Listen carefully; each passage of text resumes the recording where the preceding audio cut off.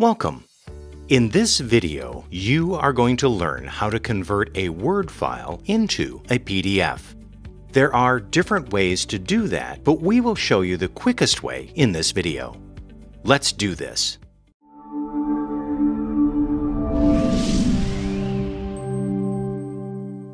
Hello, my name is Mark, and you are watching the Office Master tutorial. Office Master is here to help you learn how to use Microsoft Office in quick and simple step-by-step tutorials. First, you should navigate to the File menu in the top right corner.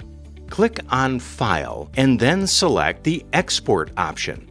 When you finish with that, click on the button Create PDF/XPS you'll get asked where you want to save the PDF file you're about to create in the pop-up dialog box. Choose a specific folder or other location on your computer. We are going to save it on the desktop and change the file name if needed.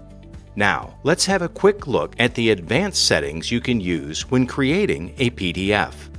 Select the box Open File after publishing if you want to open the PDF automatically after saving. This option comes in handy when you check for any typing errors or if your document was exported correctly.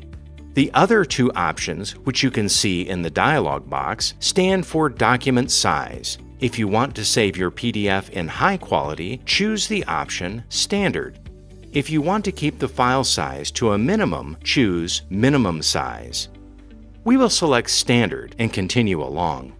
When you click on the Options button below, you can set additional options. For illustration, you can choose which pages of the document you want to export as PDF, either all of them, current page, or selected pages from your Word document. If the box Document Properties is checked, the created PDF will maintain the properties of the source Word file. If the Documents Structure Tags for Accessibility box is checked, that means the PDF file will make it easier for screen reading software to read and navigate the document. Moreover, the option PDF/A will help you archive documents compliant with ISO standards. Besides, it's good to know that you can choose the box Optimize for image quality if high definition images are inside your Word document. This option will stop Word compressing those images into a lower resolution PDF format. You should use this option if you are creating a print-ready PDF. Once you pass through all the options and selected the ones you need, click on the OK button and then publish, and we are done. Now you can see your PDF file. If you found this tutorial helpful, reward us with a like.